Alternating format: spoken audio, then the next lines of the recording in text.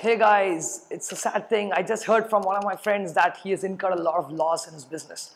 You know why do losses come in business? Right, not just one. There are multiple number of forces that attack business.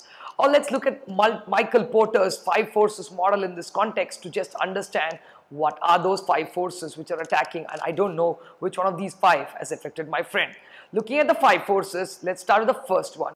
Attack from your rivals. Your arch rivals are always there waiting for you to do the smallest of mistake to pull out you down from the market. Alright, so the first up coming up a straight competition from your rivals who are doing the same business as you're doing, who are delivering the same product as you are. Then comes the competition is tough, so it doesn't stop there. It comes from products which are in the nature of substitutes. So you're not just looking at the main product, you're also looking at the product which is a substitute. So there are people who are doing similar, if not the same.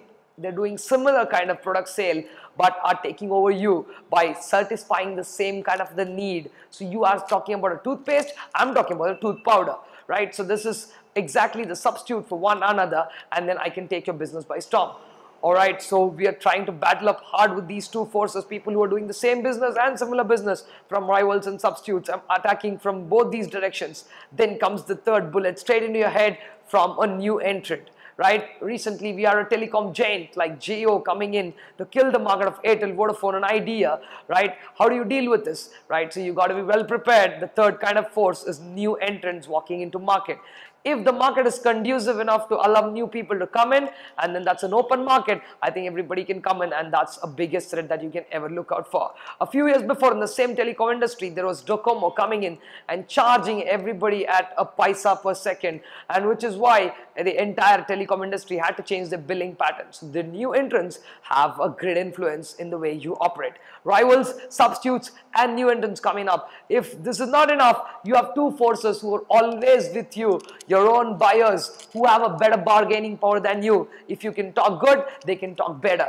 So they are always in a better bargaining situation than you to pull you down. And they're like, if you want to give me at this price, give it. Otherwise, I have many options. So you are kind of forced to give them at a price which they are looking out for. And that's why their clout in this case is much more than what you have. Your buyers having a better bargaining power. No, is that not enough? No, your supplier is also having a better bargaining power. He is saying, if you want me to supply raw materials, I will supply only at this price. And then if you don't have a better talking power than him or a bargaining power than him, you've got to surrender. Or if the supplier is the only supplier in the market who is supplying that, his cloud is again higher because if not you, he will find 100 other customers.